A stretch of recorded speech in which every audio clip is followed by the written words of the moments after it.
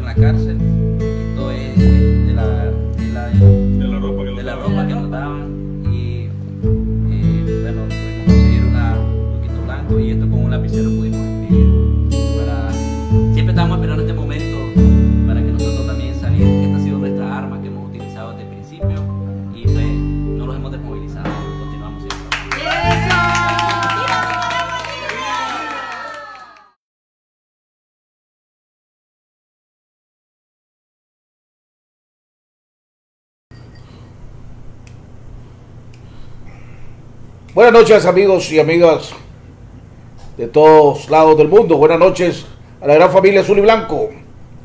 Buenas noches a todos aquellos que nos están viendo a través de las redes, a través de Facebook y a través de YouTube. Y sobre todo buenas noches a todos aquellos que nos están oyendo a través de la Radio Corporación, la radio defensora de la democracia, la institucionalidad y el Estado de Derecho. Buenas noches a todo el movimiento campesino, a todos esos campesinos que brillantemente han defendido la soberanía nacional, que orgullosamente se mantienen firmes y dignos, como dice nuestro amigo Luis Galeano, que orgullosamente levantan la bandera azul y blanco. Hoy estamos ya a 15 de julio, 15 de julio, donde llevamos más un año y como un año y dos meses ya de estar luchando por la democracia, la institucionalidad y el Estado de Derecho de Nicaragua. Para que haya elecciones libres y transparentes. Para que haya un verdadero Estado de Derecho en Nicaragua. Para que haya un verdadero Poder Judicial para que realmente la economía pueda ser salir adelante y todos los nicaragüenses puedan aspirar a tener un trabajo justo y digno.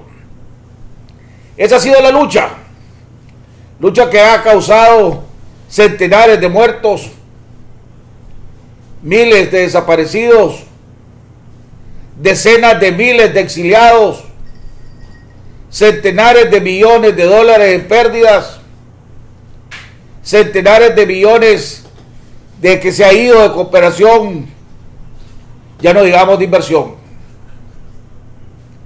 Y todavía estamos en un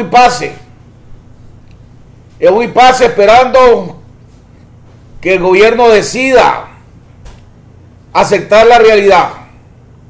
La realidad que no le queda otro camino más que sentarse a negociar un proceso libre y transparente donde todos los nicaragüenses puedan participar dando su voto a través del voto para escoger a las nuevas autoridades que van a, que van a mandar en Nicaragua, que van a gobernar Nicaragua, que van a ser realmente servidores públicos y no a servirse de la patria. Eso es lo que estamos en juego ahorita. Para aquellos que aspiran o aspiramos justicia para todos los muertos, para todos los mártires, ese es el camino. Para todos aquellos que queremos cambiar la Nicaragua por la Nicaragua que nos merecemos, ese es el camino. No hay de otra.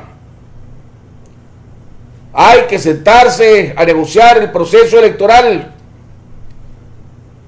Por eso se le hace un llamado al gobierno Ortega Murillo. Deje ya la violencia. Cambie la violencia por los votos. Cambie la gran represión que tiene contra el pueblo de Nicaragua por una lucha electoral que se cambie las balas por los votos. Y que en vez de que haya balas haya debates, haya propuestas, haya campaña electoral. Y que los candidatos de los diferentes partidos políticos anden por todo el país de Nicaragua proponiendo, haciendo sus propuestas, propuestas locales para los municipios, propuestas regionales para los diputados departamentales y propuestas nacionales. Y que el pueblo pueda escoger. Cada día que pasa, hoy lunes, otras 6 mil personas perdieron su empleo. Otras decenas de negocios tuvieron que cerrar. La represión continúa. La incertidumbre continúa el temor se continúa en las calles. Y no hay manera que mientras eso continúe, en Nicaragua pueda volver a la normalidad. Que Nicaragua pueda volver a ver inversiones. Que se pueda volver a rescatar la economía que todos queremos que se rescate. El día de hoy anda una delegación del Departamento de Estado de los Estados Unidos reuniéndose con el gobierno del presidente Ortega, con la oposición en Nicaragua, con los miembros de la alianza y con diferentes sectores. Ojalá que prevalezca la madurez y la sensatez para que ya de una vez por todas se haga lo que se tiene que hacer. Y en vez de ser al final, esperar lo que lo que lo que todo, hace al final, el principio, el vivo lo hace al principio, se haga desde ya. Es hora que ya no haya presos políticos en Nicaragua. Esos 85, entre 85 y 105 presos políticos que hay, que no sabemos exactamente a dónde están y por qué están, no deberían de estar ya presos políticos. Y ahora que se active nuevamente aquella comisión de seguimiento que se hizo con la delegación del gobierno, la delegación de la iglesia, la delegación de los mediadores y los representantes de la alianza y de sociedad civil, para que verifiquen Y el preso político que esté, que salga. Y si hay algunos vivos que se la quieren dar, que son delincuentes, y se quieren aprovechar del momento para tratarse de hacer pasar por preso político, eso que quede preso, cumplir su condena. Porque a lo mejor se cometieron errores. Pero lo peor que se puede, lo que no se puede hacer es seguir de brazos cruzados y dejar que esos presos políticos queden ahí. Solo porque ya salieron las principales figuras. No se puede seguir con esa represión. No se puede seguir atacando a la iglesia como se está atacando a la iglesia. Ahora la están tratando de intimidar mandándola a, que le van a hacer un auditoriaje, amenazándole con quitar la personalidad jurídica a la fundación de la iglesia Caritas. No se va a hacer así, no se va a poder reconstruir la Nicaragua de esa manera. Y también los miembros de la alianza tienen que entender que tienen que abrirse que no son dueños de la verdad, que en un proceso electoral tiene que participar aquellos que tienen experiencia en los procesos electorales, para no caer en las manos y en las trampas de este gobierno.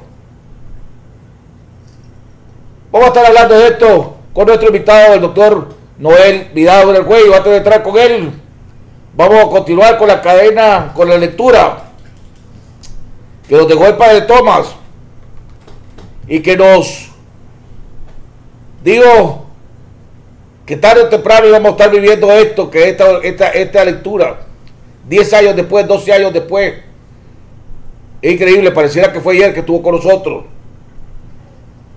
Efesios 6, y dice, háganse fuerte. Por lo demás, háganse robustos en el Señor con su energía y su fuerza Pónganse la armadura de Dios para poder resistir las maniobras del diablo. Porque nuestra lucha no es contra fuerzas humanas, sino contra los gobernantes y autoridades que dirigen este país y sus fuerzas oscuras. Nos enfrentamos con los espíritus y las fuerzas sobrenaturales del mal. Por eso pónganse la armadura de Dios para que en el día malo pueda resistir y permanecer firme a pesar de todo. Tomen la verdad como cinturón, la justicia como calzado, como coraza y como calzado el velo por propagar el Evangelio de la paz. Tengan siempre la mano el escudo de la fe y así podrán atrajar la flecha incendiaria del demonio. Por último, use el casco de salvación y la espada del Espíritu, o sea, la palabra de Dios. Viva orando y suplicando. Ora en todo tiempo según le inspire el Espíritu. Sepa velar para proseguir su oración sin desanimarse nunca. Interceda por todos los hermanos. Rueguen también por mí para que cuando hable se me den palabras para anunciar valientemente el misterio del Evangelio. Hasta encadenado soy embajador de este Evangelio, por tanto consígame de Dios la valentía para hablar como tengo que hacerlo. Vamos a ir a un cambio y ya regresamos.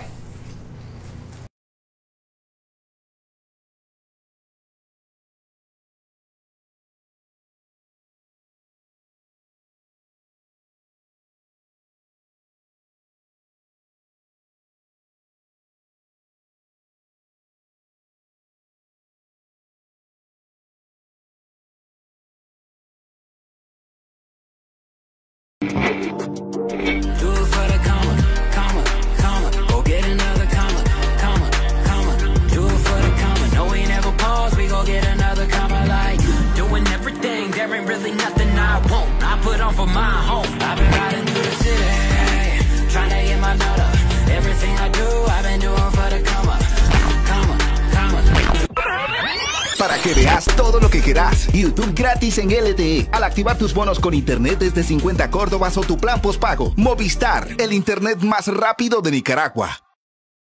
Ahora, abrir una cuenta de ahorro nunca ha sido tan fácil. La nueva cuenta online de BDF puedes abrirla desde tu celular, tablet o computadora en tan solo minutos desde cualquier lugar sin tener que hacer filas ni esperar. Con tan solo 10 dólares o 300 córdobas, activas tu cuenta y recibirás una tarjeta de débito Visa Internacional como esta en la sucursal que tú elijas, con la que podés retirar dinero en efectivo de cualquier ATM BDF y hacer transferencias a CH gratis. Lo único que tenés que hacer es ingresar tu solicitud en bdfnet.com y no olvides tomarte tu selfie.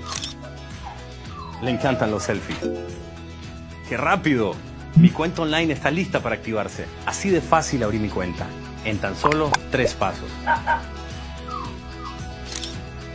Todas las cosas buenas comienzan con un selfie. Abrí tu cuenta online con BDF. BDF. Simplifícate. Hola amigos y amigas de Miami, les saluda Moisés Gadea, cantautor nicaragüense. Quiero invitarles a una inolvidable velada musical el día sábado 3 de agosto en 1306. Juntos disfrutaremos de una noche íntima de buena música e inolvidables anécdotas. Para comprar sus boletos solo sigan el link o llamen al 754 444 1390. Les esperamos. Declaro mi amor por Nicaragua. Para compartir lo que más te gusta necesitas más datos. Por eso, duplicamos tus super packs desde 600 megas. Sí, seguimos agrandando tus megas por el mismo precio. Actívalos marcando asterisco triple cinco numeral. Claro, vos nos haces mejor.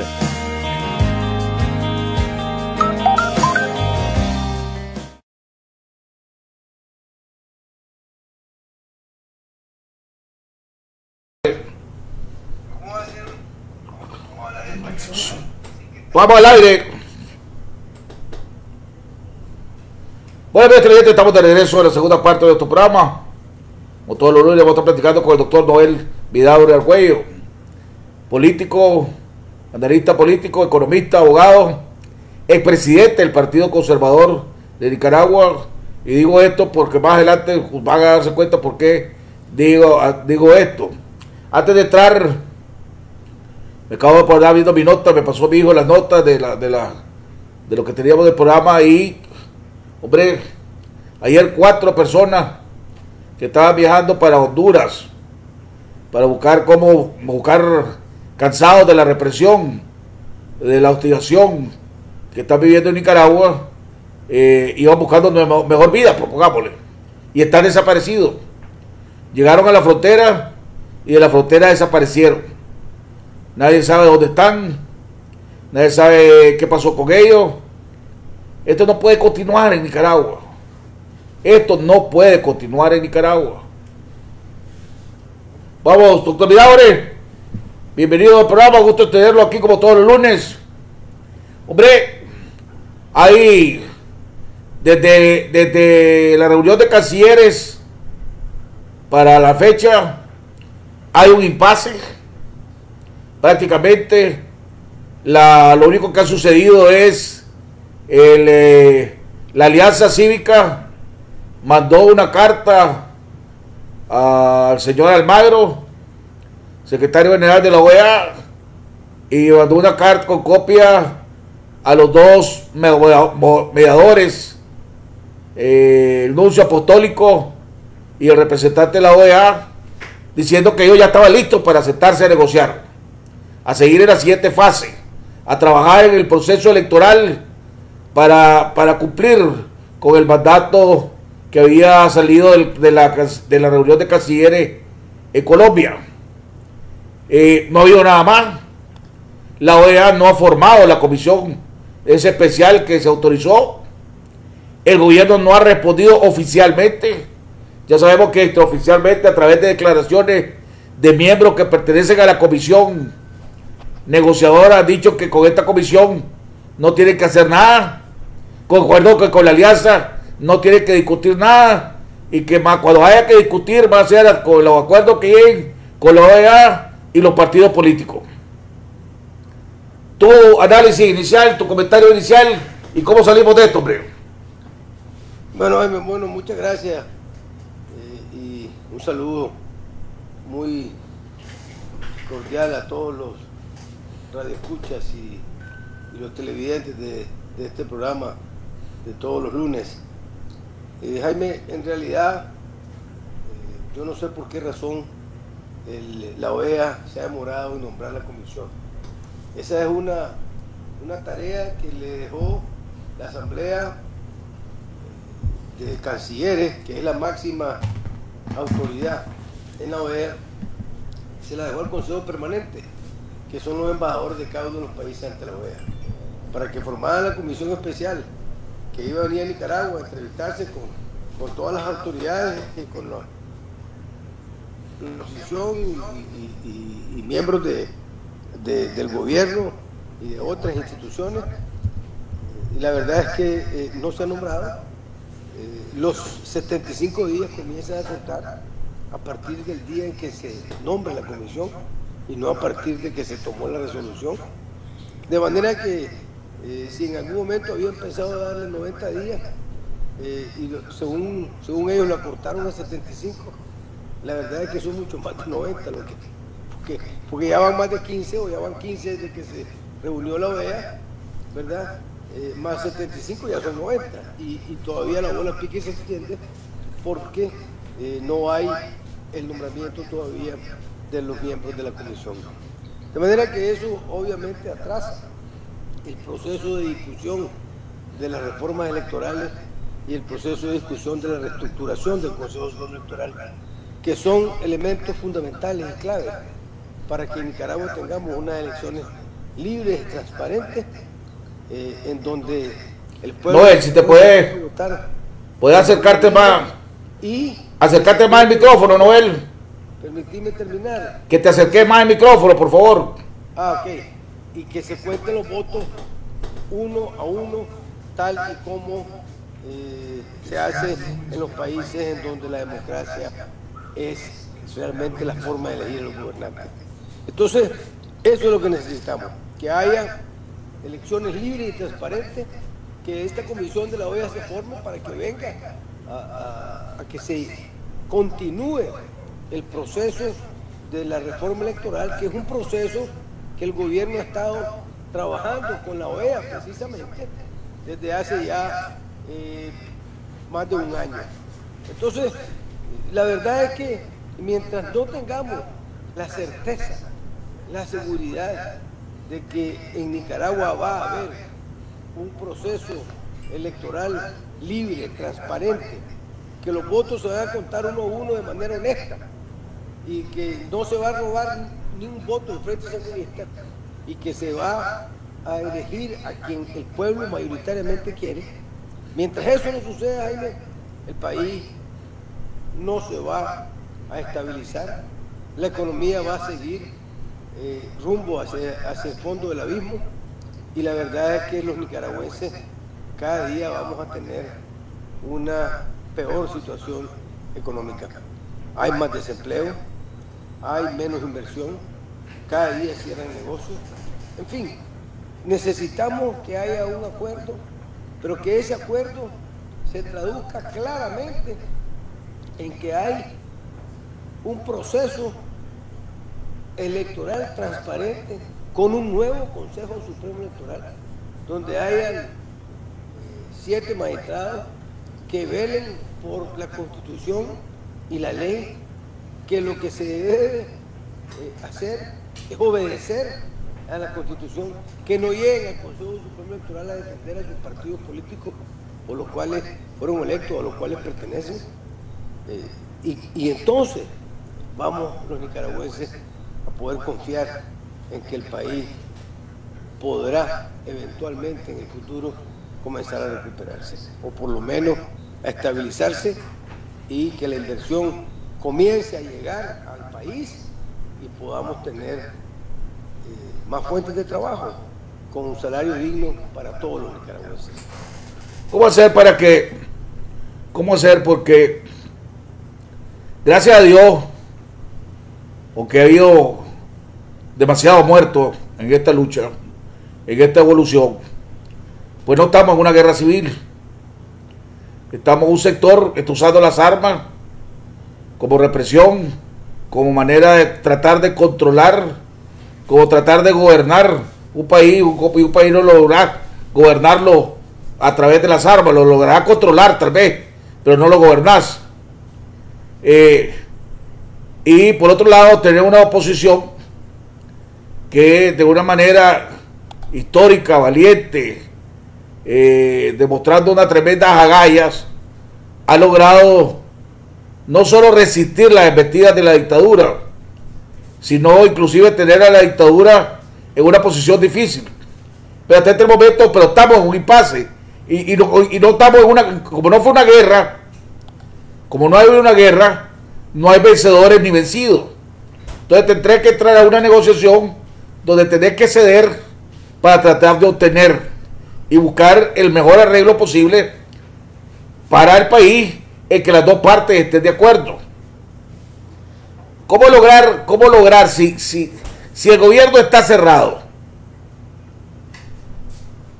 Hombre, le decía yo a los de la alianza, vayan a reunirse con los miembros de la, los dos mediadores, convoquen a- al, diálogo, vayan a sentarse al diálogo, y si no llega el gobierno, van a estar la silla vacía.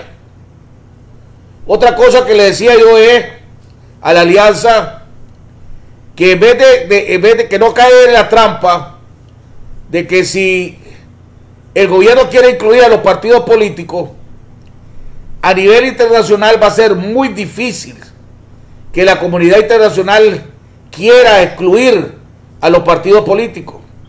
Porque al fin y al cabo es a través de los partidos políticos que llega al poder.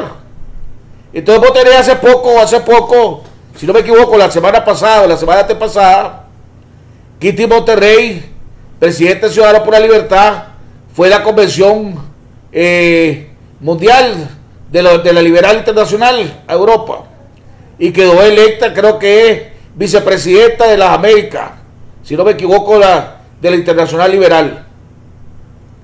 La Internacional Liberal va a presionar a, sus- a los diputados de la Internacional Liberal para que los diputados de sus respectivos países presionen para que la- la por la Libertad sea parte del diálogo aquí en Nicaragua. Le van a devolver la personería jurídica a los pescaditos. Los socialcristianos en Europa tienen mucha influencia, sobre todo en Alemania. Van a presionar, entonces los diputados socialcristianos van a presionar para que a los socialcristianos se les permita entrar en el diálogo aquí en Nicaragua. El Partido Conservador, ¿verdad? Que la, eh, la UPLA o la IDB, el International Democratic Union, va a presionar para que los conservadores estén en ese diálogo. Entonces, y, y ya digamos que los conservadores han logrado recuperar bastante territorio en Latinoamérica, ya no digamos en el mundo, en Latinoamérica. Entonces, ¿para qué? Mi pregunta es, ¿qué gana la alianza en eh, obstinarse? No sé si la palabra es obstinarse. Es decir, si los partidos políticos pertenecen al diálogo, yo no participo en el diálogo. Bueno, yo, yo, yo creo que eso solamente, eso solamente revelaría una tremenda inmadurez, eh, una soberbia eh, gigantesca y un egoísmo total. Yo creo que la alianza, eh, si, si hay, digamos, una presión internacional eh, de, parte de la comunidad y de, las eh, organizaciones de, partidos políticos en el mundo para, que, para que se sienten a negociar sobre la reforma electoral, yo creo que, yo creo que la alianza no debe negarse, porque como repito, eso demuestra solamente eh, una inmadurez tremenda, eh, un egoísmo absoluto, eh, y, en fin, y, una, y una terquedad. ¿Por qué? Soberbia, porque en primer lugar hay partidos políticos en Nicaragua, como C por L, que tienen, aunque es un partido joven, tiene una trayectoria de gente que, que no se ha vendido al régimen de Daniel Ortega. No tienen diputados en la Asamblea Nacional, no han colaborado, no son colaboracionistas ni cómplices del régimen dictatorial de Daniel Ortega. Por consiguiente, eh, no se les puede culpar ni se les puede achacar ninguna eh, eh, maniobra para apoyar la dictadura de Daniel Ortega. Y sobre todo porque personas como su presidenta Kitty Monterrey tienen experiencia política, tienen experiencia electoral, ¿verdad?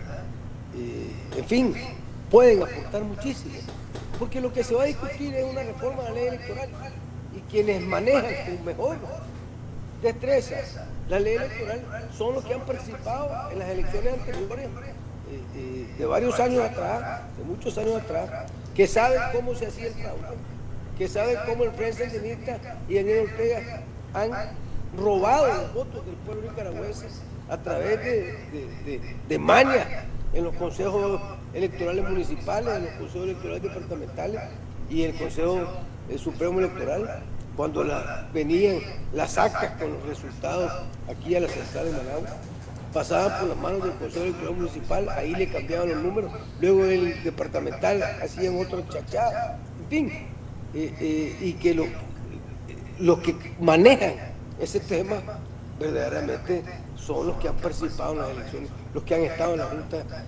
eh, de Votos, los que han estado en los consejos municipales, departamentales y en el Consejo Central, donde se recibía eh, todas la- la- la- las actas con los resultados de la votación de todo el país. Entonces, yo creo que cerrarle las puertas por puro gusto, y estoy hablando de políticos que no se han prestado para, para colaborar con Ortega, que no son cómplices de, de- de ninguna eh, eh, acción a favor de Ortega, que no han pactado con Ortega. Entonces, esos políticos pueden aportar mucho al país, pueden aportar mucho al proceso electoral para que sea verdaderamente transparente. Tener personas como, como, como Roberto Curni también, de ética y transparencia, que, que, eh, Roberto maneja muy bien el tema electoral, no pertenece a la alianza, eh, no, no pertenece a ningún partido político, pero él ha manejado junto con los partidos políticos en el pasado todo lo que ha sido el proceso de observación nacional y el proceso electoral. Entonces tiene mucha experiencia Roberto en el tema electoral, maneja todas las manias que se han cometido para robarse las elecciones en el pasado, como efectivamente se le ha robado Daniel Ortega y el Frente Sandinista. Entonces, gente así tiene mucho que aportar. ¿Por qué apartarle? ¿Por qué negarle? Solo por egoísmo, solo porque ellos quieren ser eh, eh, los únicos actores. No, si aquí no estamos, no, podemos estar hablando de egoísmo, ni podemos estar hablando de mezquindades, eh, ni mucho menos. Estamos hablando de Nicaragua. Lo importante es que Nicaragua salga adelante, que Nicaragua tenga un proceso democrático transparente, libre, justo, que Nicaragua tenga Estado de Derecho, que Nicaragua haya justicia, haya libertad. De eso es lo que estamos hablando, de valores superiores. Y no se puede negar a que gente que puede aportar, gente que es honesta, que, que- que- que es digna y que, se, y que tiene una gran experiencia, tiene derecho de aportar y no hay por qué negarle ese derecho. Pero sobre todo porque Nicaragua los necesitamos. Eh, Los nicaragüenses necesitamos que en esa mesa de negociación del sistema electoral estén las personas que saben para que haya un mejor sistema. No solamente los que dicen que, que son de la alianza, que porque son de la alianza no dejan que nadie entre, aunque no sepan del tema electoral, porque no tienen experiencia, algunos de ellos, en el tema electoral. Entonces, aquí el bien superior es Nicaragua. Y por Nicaragua es que debemos tener en la mesa de negociación las personas que más saben del tema electoral, las personas que más saben de cómo se robaron las elecciones, las personas que más experiencia tienen en el manejo de elecciones, porque han participado en elecciones anteriores, ¿verdad? Eh, Eso es lo que, lo que, lo que debemos tener. Los nicaragüenses necesitamos que tengamos la mejor gente ahí, para que hagan el mejor trabajo y podamos tener verdaderamente unas elecciones libres y transparentes, derrotar a Daniel Ortega y, y- y desalojarlo del poder para siempre. ¿Cuál es el siguiente paso a hacer? Bueno, yo, yo- yo personalmente creo que hay que presionar al gobierno para que se siente nuevamente en la mesa de negociación. ¿Cómo lo presionaría? La comunidad internacional tiene mucho, eh, eh, mucha importancia en la presión.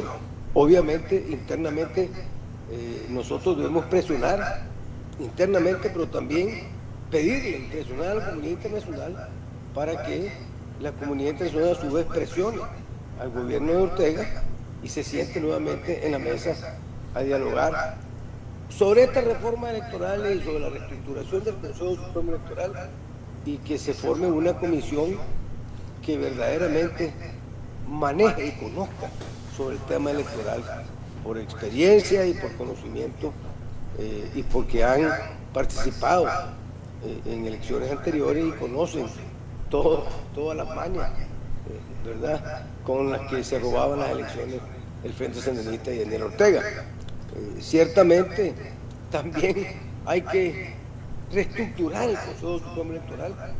No pueden seguir los siete magistrados que están ahí, los, diez magistrados, los siete propietarios y tres suplentes. Obviamente esos magistrados se han prestado al, fraude en el pasado, pero no solamente lo- lo- los magistrados, también los mandos medios, los los las direcciones de la- de la- de la- de- del Consejo Supremo Electoral, los directores de, la- de las diferentes secciones del Consejo Supremo Electoral, se han prestado luego, responden al Frente Sandinista, responden a Daniel Ortega. ¿Por y qué hay- Daniel Ortega les pida para robarse las elecciones. Entonces, ¿Por qué hay- tiene por- que reestructurarse. ¿Por qué hay un, hay- por qué hay un, un tabú al respecto a la hora de hablar de, de todo lo que tiene que ver de electoral? Eh, el día viernes Cuarto Poder, que estábamos con Miguel Mora, decía Miguel Mora que debería crearse una comisión que vaya trabajando para formar esa gran unidad una comisión que vaya trabajando para, para ir viendo la, la propuesta de, de los mecanismos que se van a escoger para escoger a los candidatos. Son más de, son más de 12 mil candidatos municipales, mira, ve. Son más, después de tener los 90 candidatos o los 21 candidatos a diputados, candidato a presidente, vicepresidente. O sea, y después necesitar tener por lo menos 50 mil fiscales listos para ir a defender el voto. O sea, el trabajo que hay que hacer para poder estar listo y competir y ser competitivo para ganar y ganar con bastante ampl- amplitud las próximas elecciones no, no es fácil. Pero nadie quiere, nadie quiere ponerle el cacabel al gato y decir, hombre, necesitamos trabajar en esto. Porque de ahí hay miedo que le digan, ay, que estás, vos tenés ambiciones presidenciales, acá vos tenés tal cosa, vos tenés tal cosa. Pero es una realidad. ¿Cómo vas a hacer para escoger a los candidatos a la presidencia y que no haya división? ¿Cómo vas a hacer para escoger a los candidatos a diputados y que no haya división? Y el que no quede electo no se vaya recho a participar en la casilla de otro partido. Jaime, yo, yo, yo te voy a decir una cosa. Eh, a mí, a mí francamente, eh, no me preocupa eh, cómo, cómo se van a elegir los candidatos, por- porque, eh, eh, y, que no haya división, porque que no surjan un montón. Van a surgir varios. Lo importante, y yo, yo insisto siempre, en 1990 habían 10 candidatos a la presidencia de la República. La gente cree que solamente habían dos. Doña Violeta Barros de Chamorro y Daniel Ortega. No, no, habían 10 candidatos a la presidencia, habían 10 casillas. Uno era la uno, con Doña Violeta Barros de Chamorro, candidata a presidente, y, y, y, ¿cómo se llama?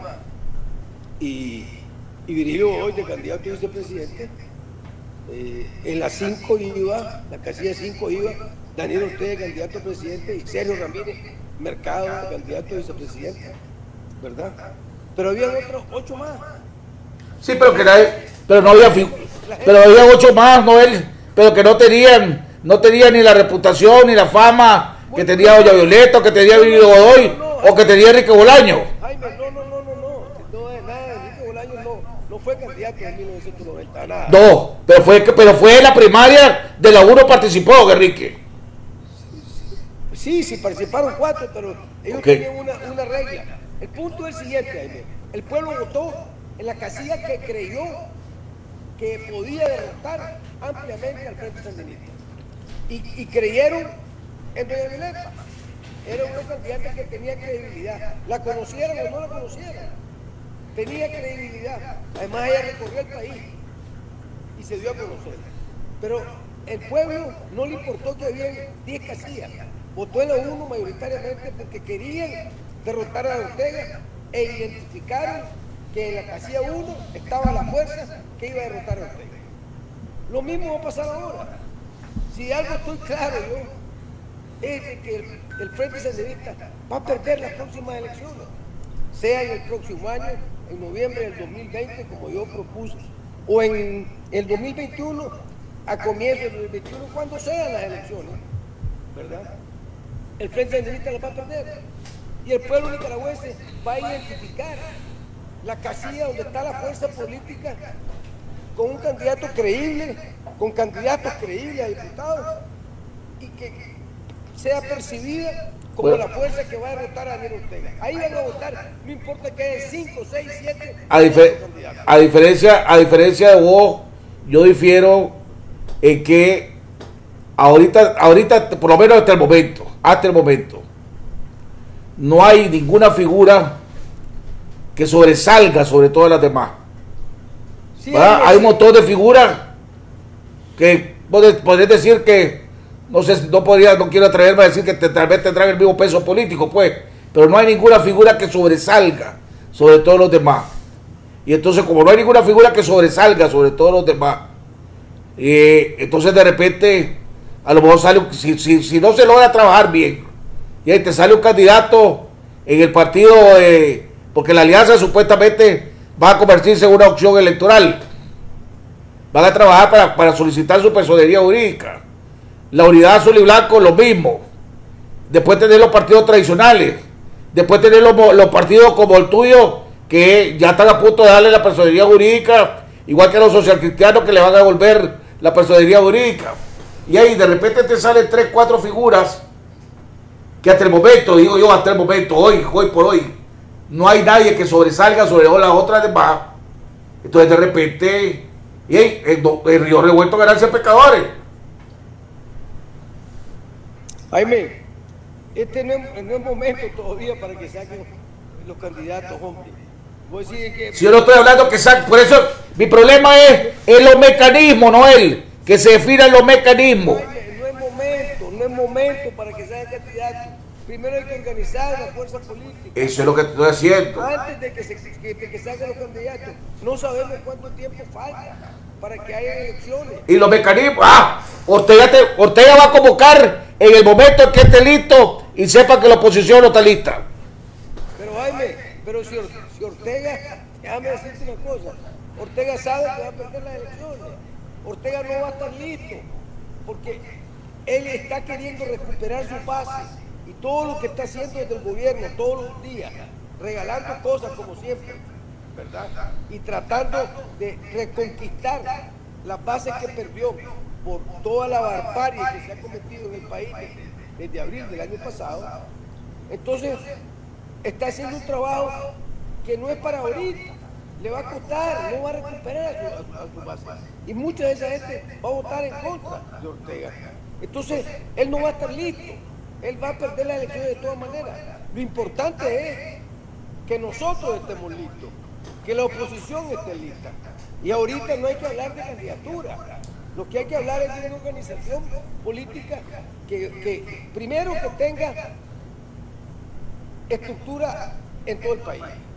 Segundo, que sea capaz de organizar una fuerza de fiscales para poder defender el voto, cueste lo que cueste, y pase lo que pase.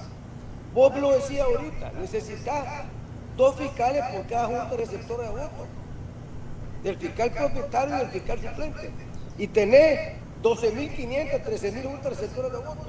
Solamente ahí tenés 25.000 fiscales que poner, más los fiscales en las estructuras municipales del- del- de- electorales, en las estructuras departamentales. Necesitaba un ejército de 50 mil personas. Entonces, si, si no tenés esa gente necesitaba un ejército de, preparada, capacitada, tenés que capacitarla en la ley electoral, tenés que capacitarla en el trabajo que tienen que hacer, en las funciones que tienen que desarrollar. Eso es fundamental. Eso es lo importante ahora. Por eso, entonces- y organizar. Eso es, ¿y cómo, y cómo hacer, cómo organizar, cómo organizar una fuerza? Aclarar, sumando gente, y la gente se va a sumar si las reglas del juego están claras. No, yo, yo, gracias a Dios tengo, tengo tanta experiencia en ver cómo se han desbaratado alianzas a la hora de que las candidaturas no salen como quieren salir. Jaime, por supuesto, por eso es que la, por eso es que la alianza no puede ser, no puede ser todo con todo. No, la alianza y la unidad tienen que darse entre las personas que comulgamos con los mismos principios y valores. Así es sencillo. Y la gente que verdaderamente quiere Nicaragua y que está dispuesta a trabajar por Nicaragua y que no anda buscando un hueso. ¿Vos, vos qué estás proponiendo? Una, ¿Vos qué proponés? La vez pasada lanzaste una fecha del, del 20, 20 de noviembre, creo que dijiste vos. Yo dije el noviembre del primer 2020. domingo- El primer domingo de noviembre del 2020. Pues, noviembre. La vez pasada había, creo que fue la Susana Ferrey u otros que, que, que mencionaron ya, o sea, que veían esa fecha interesante. Ahora, vos, vos qué proponés eh, en, tu, en tu propuesta que estás haciendo? ¿Vos qué proponés? Ahorita que decís, solo, solo no pueden ir todos con todos. ¿Vos qué estás proponiendo? ¿Una alianza de, de, de centro-derecha nada más? Que no vaya nadie de izquierda. Absol- absolutamente. El pueblo nicaragüense está cansado del engaño de la izquierda, está cansado del engaño del está cansado de todos los sandinistas, de las cúpulas, por supuesto, porque hay muchas bases sandinistas que a su vez están cansados de lo que fueron sus líderes de lo que fueron sus dirigentes, porque sencillamente los engañaron constantemente. ¿verdad? Eh, obviamente, obviamente el pueblo no quiere saber nada de la cúpula sandinista de, ninguna denominación, llámese Frente Sandinista, llámese Movimiento Rescate, llámese Movimiento Renovador. No hay nada que renovar y nada que rescatar de partido. Y muchos de los sandinistas de base, la gente que no piñateó, la gente que no robó, la gente que no fue parte de la estructura que, que durante los 80 mandaron a la gente a morir. ¿verdad? Esos que son sandinistas de base, que no piñatean, que no cometió ninguno de estas barbaries, esa gente está absolutamente desilusionada. Esa gente va a votar también contra el Frente Sandinista. Pero, pero esa, esa gente lo que, lo que espera es un país justo, un país libre, un país democrático, un país donde haya educación, salud, trabajo, con salario digno para todos. Eso es lo que necesita la gente. Y eso no es lo que ha dado el Frente Sandinista. Sandinista siempre le ha traído desgracia al pueblo, al pueblo de Nicaragua. Siempre, siempre le ha traído desgracia. lo- en los que- 80 desbarató el país, desbarató la economía. Y ahora, de, de- de- abril para acá, el país un desastre. un ¿Qué vas a decir gigantesco. con los cuando los simpatizantes del MRS te digan que lo que está provocando es, un- es desunión, división? Que así no se une, que así no se une el pueblo de Nicaragua con lo que ¿Y vos querés. Déjame decirte una cosa, Jaime. Todo esto del MRS votaron en 1990 por Daniel Ortega Saavedra. Todito. Todito. Y en el 2001 también votaron por Daniel Ortega porque el MRS era aliado de, de- de Daniel Ortega en el 2001. Ya se te olvidó. No. Ah, Ok. Ah, ¿Por quién votaron? Por Daniel Ortega. Igual los derrotamos. Los derrotamos en el 90 y los derrotamos en el 2001. ¿Quién dice que voten por, si van a votar por Ortega?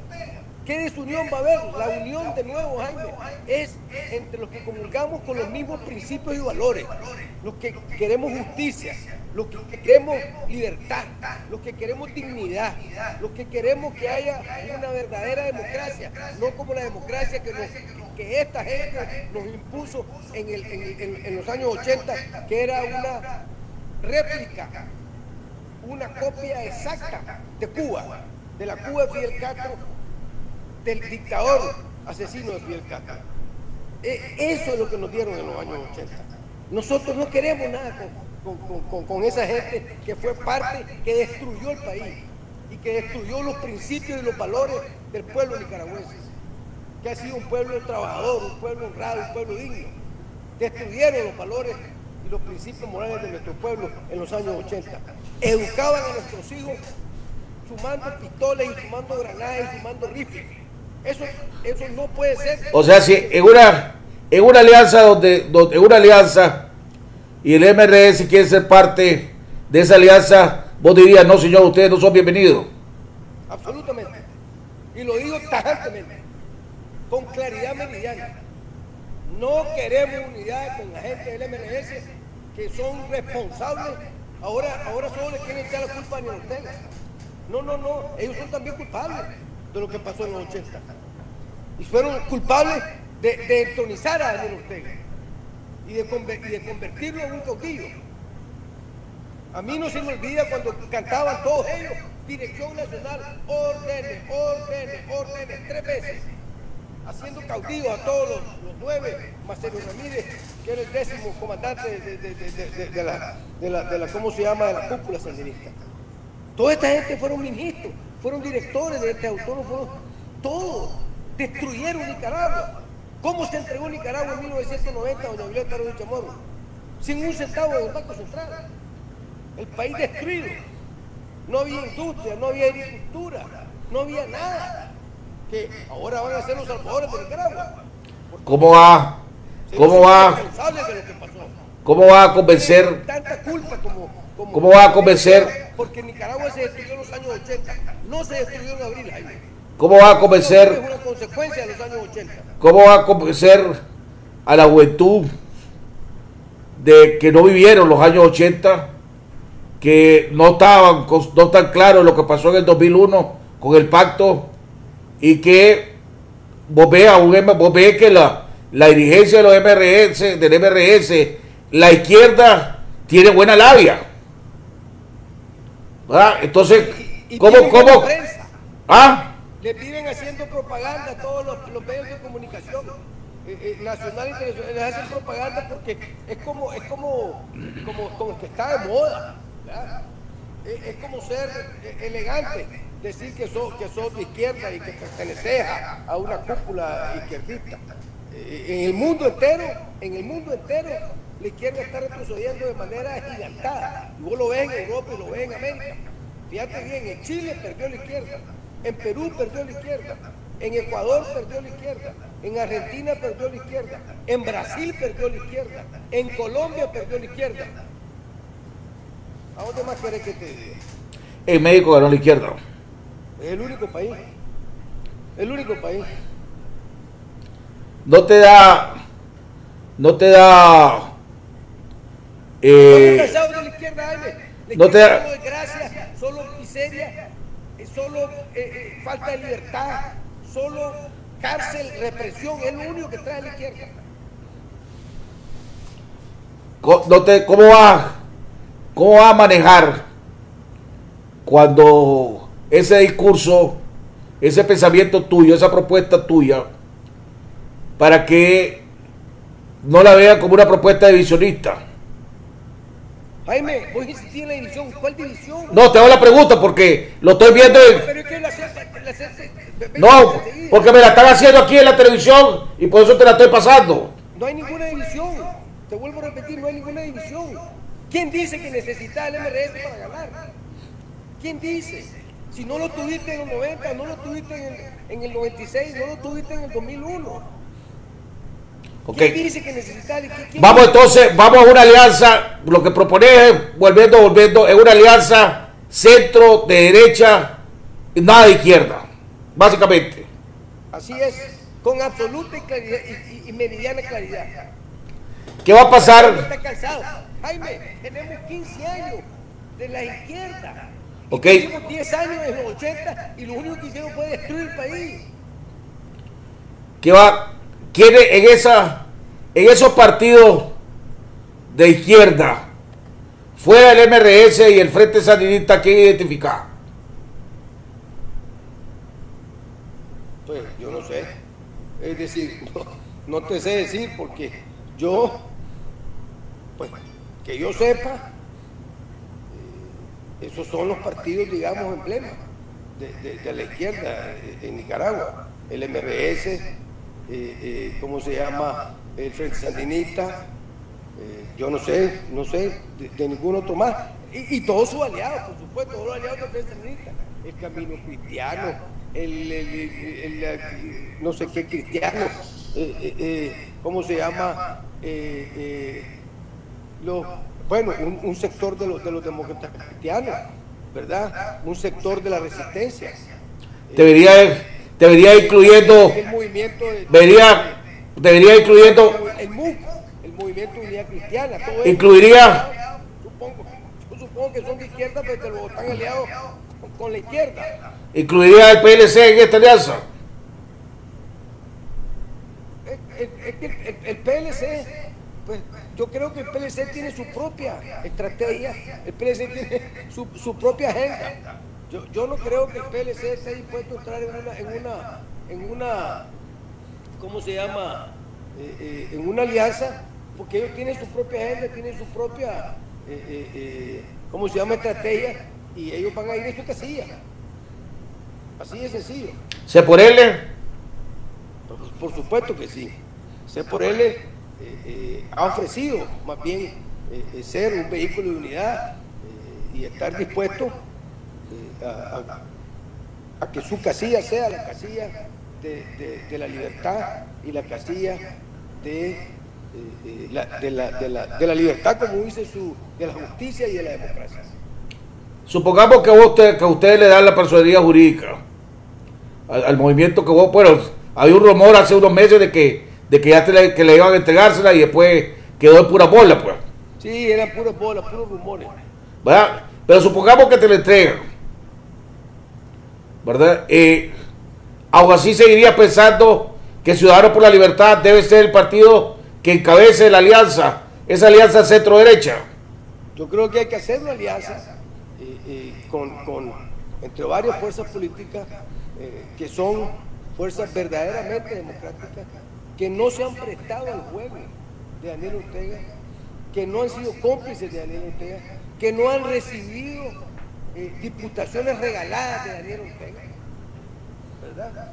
Eh, y, ciertamente de todos los otros, todos han recibido diputaciones regaladas, porque las elecciones pasadas no tenían derecho, por voto, por votación, no tenían derecho a diputados. Lo que pasa es que a Daniel Ortega le dio vergüenza que, tu- que tuviera 87 diputados sandinistas y 3 no sandinistas. Digo, no sandinistas porque habían corrido en otras casillas, ¿verdad? Pero que ellos estaban dispuestos a apoyar a, a Ortega. Entonces di- decidió dejarse 70 diputados y regalar 20. Ahora, usted, usted, ha estado, usted ha estado trabajando, a esa, a esa, a esa, a- a camada porque ese por él no tiene ni un diputado.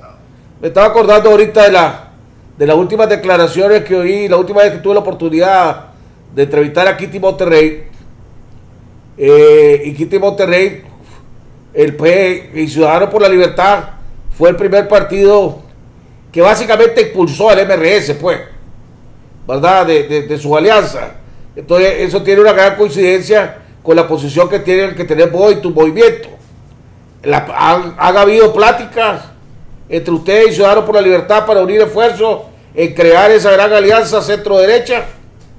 Hemos conversado con José Porel, sí, eh, eh, pues en un acercamiento eh, de, cómo se llama, eh, de, conocimiento, de, conversación de la situación política, de ver cómo estaba el país, qué es lo que se podía hacer. Eh, yo fui invitado a la convención de Seporel y asistí, y como invitado, y, realmente pues creo que creo que es un partido que tiene una casilla que me parece a mí importante. Ahora, hace, hace, hace un tiempo vos dijiste que vos veías que vos eras muy escéptico. No me acuerdo si esa fue la palabra exacta que usaste, en que Daniel Ortega iba a ceder en algo. Vos decías que Daniel Ortega no iba a ceder en nada, ¿verdad? No, no, yo no decía que no iba a ceder en nada, que, iba a ceder en algunas cosas. Ok. ¿Vos crees, ves vos a Daniel Ortega cediendo en hacer unas elecciones libres y transparentes, permitiendo la libre participación, permitiendo garantías ciudadanas para que puedan los que ellos que quedan eh, que queden electos para ser candidatos poder hacer campaña, para que quiera respaldarlo poder hacer campaña? ¿Ve a Daniel Ortega haciendo eso o ve a Daniel Ortega siguiendo insistiendo con los fraudes electorales que ha venido cometiendo en los últimos tres procesos electorales? Creo que a Daniel Ortega no le va a quedar más camino que permitir unas elecciones libres y transparentes con observación nacional e internacional, ¿verdad? Y respetar la decisión de- mayoritaria del pueblo nicaragüense. Creo que no le va a quedar más camino. Eh, pero dudo mucho que Ortega esté pensando adelantar las elecciones. Eh, dudo mucho que Ortega eh, esté dispuesto a, que se haga justicia, ¿verdad? Eh, yo creo que Ortega, si acaso adelanta las elecciones, lo va a hacer eh, en los primeros meses del, del año 2021, tal y como lo hizo en el 1990, que adelantó las elecciones de febrero, de noviembre del 90 a febrero, al 25 de febrero, es decir, el último domingo de febrero. Las adelantó ocho meses. Yo, ojalá adelante las elecciones, yo veo difícil realmente eh, que, que Ortega acepte eso, ni aún con la presión internacional, pero creo que no le va a quedar más camino, ¿verdad? Para eh, su gobierno y para su para que pueda salir, digamos, eh, con la presión internacional, más que permitir elecciones libres, justas y transparentes eh, eh, en el momento que, que Decía- ya sea en 2021 o, en- o- o el primer domingo de, de noviembre del 2020, como yo he propuesto desde, desde la vez pasada. Decía, decía, eh, la vez pasada tuve la oportunidad, ya un poquito más, creo que más de un mes, de entrevistar al doctor Fanola Bendaño, el presidente de los pescaditos, y, en un momento dado fue aliado del Frente Sandinista, pues. Y él me decía que, que el gobierno del, de, al gobierno no le quedaba más remedio que adelantar las elecciones porque la condición económica no esperaban hasta el 2021. Que aquí no se podía esperar algún tipo de restablecimiento de algún síntoma de normalidad mientras no hubiera un acuerdo político. ¿verdad? Y entonces, llegar al 2021, la economía de Nicaragua no la aguanta, decía Fador. Eh, esto es imposible pensar. Me dice, y, y- y estoy seguro que el presidente, decía él, y su gente está bien claro de eso. ¿Vos lo ves de esa manera? Yo creo que, que a Daniel Ortega no le importa eh, eh, la crisis económica. No le importó la crisis económica en los 80. En los 80 mucha gente no tenía que comer aquí, en Nicaragua. Había que hacer cola para que dieran el ajo. Ah, pero la crisis económica te, te quita votos. ¿Perdón? La crisis económica te quita votos. Sí, claro que le quita votos. Igual le quitó votos en 1990 y, y- y- y perdió. Perdió porque el sistema ya no lo toleraba el pueblo nicaragüense. Pero es que ahora el desastre para el Frente Sandinista va a ser peor, porque aquel entonces sacó 39%. Ahora no, cuidado, no llega ni al 20%. No va a llegar al 20%. Déjame, Entonces, va a ser un desastre. Déjame- el Sandinista. déjame, déjame, eh, déjame hacerte una, una, una, un- una, solo contestame eh, izquierda, derecha, eh, a los, eh, te, voy a, te voy a dar una lista de nombres y vos me decís si los los definís como gente de derecha, como gente de izquierda, ¿verdad? Eh, Kitty Monterrey, Derecha. Ahora, si no sé, te voy a contestar, no sé. ok. Mike Healy, Derecha. derecha. Violeta Granera, Izquierda. Cristiana Chamorro, Eh, no, no, no sé. No sé. Carlos Fernando Chamorro, Izquierda. Félix Maradiaga, Eh, no sé tampoco. Me parece, me parece que, que está eh, eh, aliado con, con la UNAM, que son todos de izquierda, así que me imagino que está identificado con la izquierda. No José Ana Guerri. Es miembro del Consejo Político de la UNAM. Sí. Y si es miembro del Consejo Político de la UNAM, que son todas organizaciones de izquierda, son disfrazadas eh, por el MRS, son todas MRS disfrazadas de organizaciones diferentes, de ONG, para captar fondos de fuera y eh, para tener más votos en la UNAP. Y obviamente, eh, ¿cómo se llama? Eh, son de izquierda, así que eh, yo supongo que eh, él también es de izquierda, Madriaga, porque está con, UNAP en el Consejo Político, José Daga Guerri. derecha. Y por último, Juan Sebastián Chamorro. Izquierda, Medardo Mairena. derecha. Ok.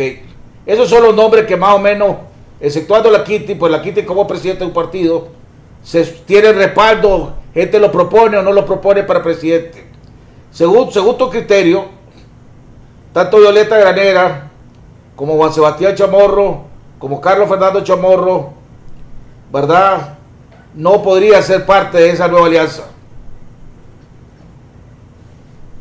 Eh, no queremos gente de izquierda. Así de sencillo. El pueblo, el pueblo nicaragüense no quiere gente. El pueblo nicaragüense quiere un cambio. Ya hemos estado dominados por la izquierda. 15 años. Cuando, cuando vengan las elecciones ya vamos a tener 15 años de estar dominados por la izquierda. Así es. Y en los 80 tuvimos 10 años dominados por la izquierda. Vamos a tener 25 años de estar dominados por la izquierda. ¿Y qué es lo que la izquierda le ha traído a Nicaragua? Desastre, guerra, muerte, corrupción, piñata, eh, falta de libertad, falta de justicia, injusticia, cero educación democrática y cívica. Eso es lo que le ha traído a Nicaragua.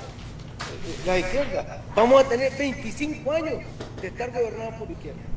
Así es sencillo. 10 años en los 80 y 15 horas. Hay que olvidarse de eso. Son 25 años.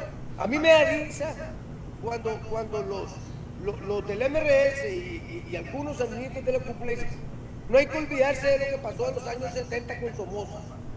Entonces yo digo, no hay que olvidarse de lo que pasó en los años 80 con los sandinistas. Que además los años 80 están más cerca de hoy que los 70. E- esa es la verdad y esa es la realidad. No solo eso, la gente se le olvida, la gente se le olvida solo los años 80, la gente se le olvida que lo, lo que el gobierno de de, de, de Daniel Ortega nunca dejó gobernar a Doña Violeta, no dejó- al principio no dejó gobernar a Alemán, le hicieron la vida imposible a, a Bolaño, o sea, ellos nunca dejaron gobernar. Así es.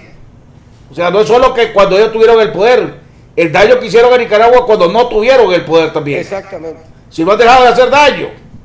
exactamente.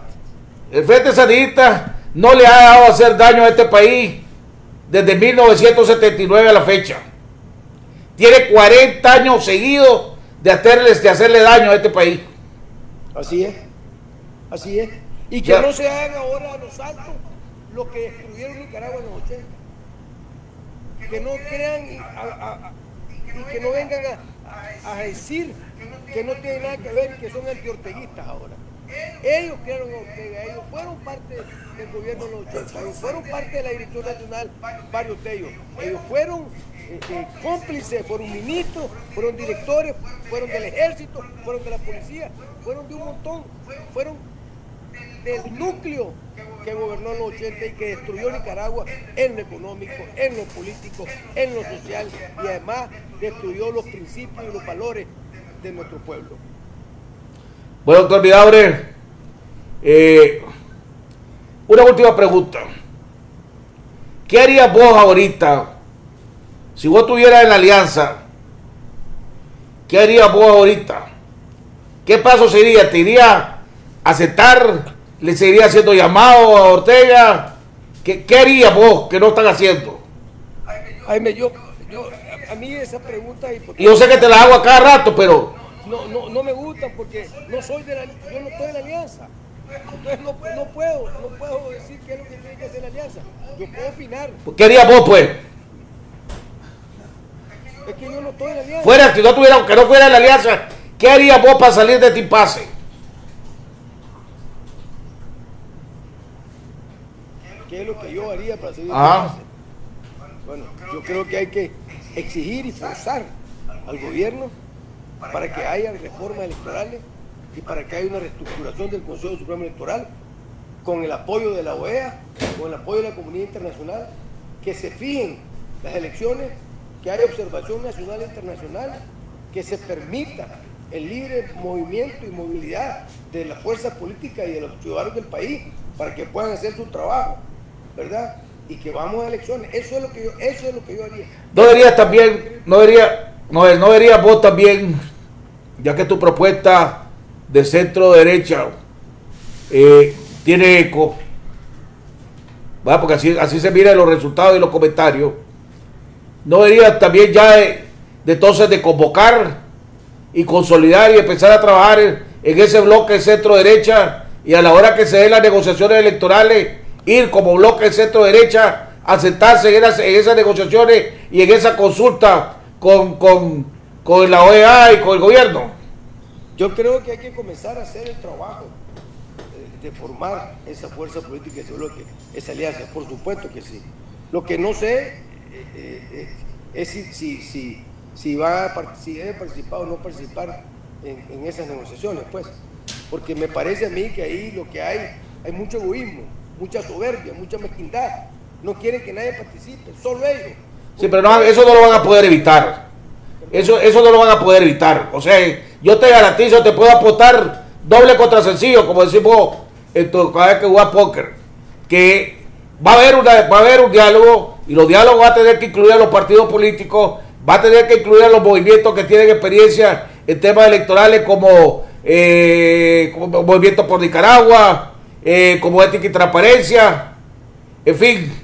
Entonces, vos podés cre- vos podés- usted ya puede ir creando su bloque de, de- de derecha, bloque de derecha, centro derecha, y delegan a, la Kitty Monterrey, que es una persona con, con una extraordinaria capacidad en temas electorales, pues.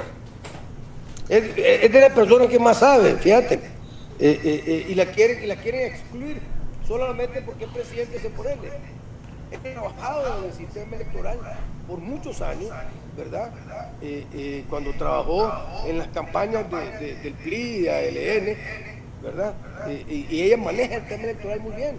Es una persona que puede aportar mucho. Ella sabe cómo, cómo hacía las trampas y, y- y- y las mañas para cometer los fraudes.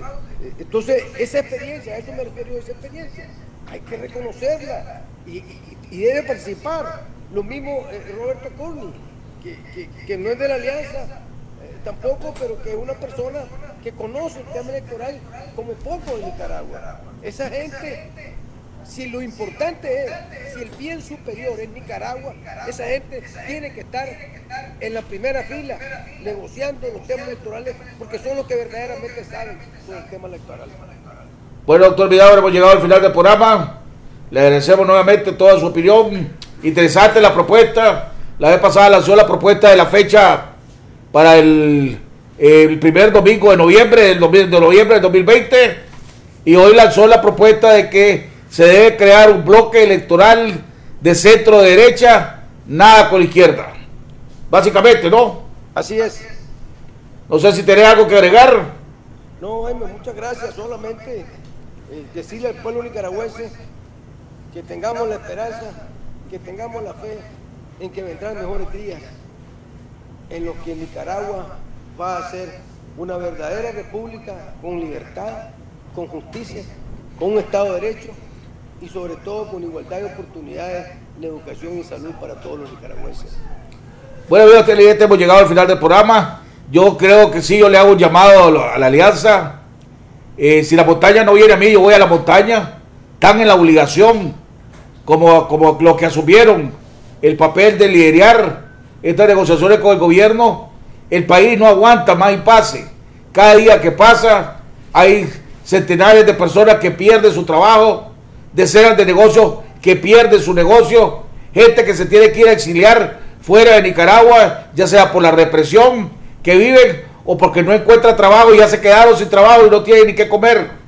Entonces cada día que pasa, gente sigue sufriendo. Ya no digamos los presos políticos que todavía quedan para que salgan libres. Entonces la alianza debe hacer todo un esfuerzo debe, de- debe llamar a conferencia de prensa, debe insistir, hacer llamado al gobierno, dice aceptar en los lugares donde supuestamente son las reuniones y ver las sillas vacías y demostrarle al mundo y demostrarle que, que el gobierno que no quiere sentarse a negociar. Y también debe quitarse la terquedad de hacer creer que los partidos políticos no van a participar. Si el mismo, el mismo embajador de Japón lo dijo en su momento dado, es increíble creer, solo en Nicaragua creen que pueden haber unas negociaciones políticas y electorales sin tomar en cuenta los partidos políticos. Entonces, la, opinión internacional va a respaldar a los partidos políticos que tienen. La Internacional Liberal va a empezar a poner presión para hacer por él. La Social Cristiano, que tiene una enorme representación en los gobiernos europeos y sobre todo en el alemán, va a empezar a poner presión para Social Cristiano. Ya no digamos también la UPLA, ¿verdad? o la IDB, IDU, alrededor de los conservadores, que se merecen estar el PLC y el, y el Partido Conservador. Estamos claros que no, pero son las realidades y uno debe de actuar de acuerdo a las realidades, no a si es más popular o menos popular, de acuerdo a las realidades. Y eso es el pueblo que se merece. El pueblo se merece que se luche y se obtenga resultado. Cada día que pasa con los brazos cruzados, hay daños que se están haciendo al país, que en algunos casos irreversibles. Que Dios los bendiga y nos vemos mañana en otro interesante programa aquí en Jaime Arellano de la Nación.